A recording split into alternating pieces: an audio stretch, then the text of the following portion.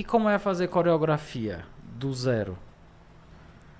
Não, quando você. Porque, meu, quando eu tento dançar, mano. Não, mas assim. Pra mim é fácil.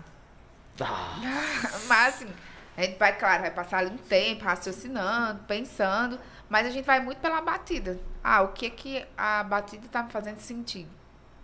E ali a gente vai botando a expressão corporal.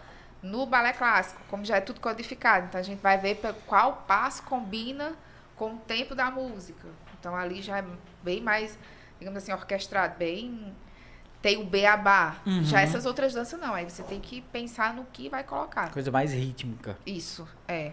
E aí, respondendo também ao que ele perguntou, como é cantar e dançar, Se- é, se lá na consegue. gravação tem, é, teve hora que eu fiquei, meu Deus do céu, porque Aham. tinha que. Porque por mais que a gente dublasse, a gente tem que cantar pra dar. Uhum, pra dar uma é, veracidade. é, porque senão ficar só com a boca. É.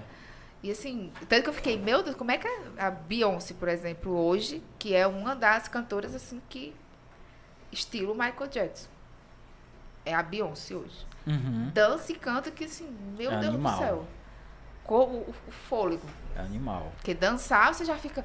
É uma coisa. Agora, você cantar e dançar é coisa do outro mundo. É. Não é pra qualquer É. um, não.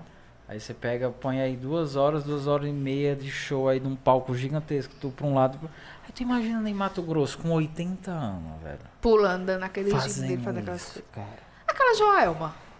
Jogando os Mano. cabelos pra frente e pra trás. Mano. bicho, é. A Calypso. É. Ali é. Ali. E Yeah. no salto, eu digo, eita, É danada, viu? foda. E gritando. E Né? Um negócio assim. Quem ainda- Frank Aguiar, pelo menos, era gritando, era. Ah, mas era aquilo. no teclado.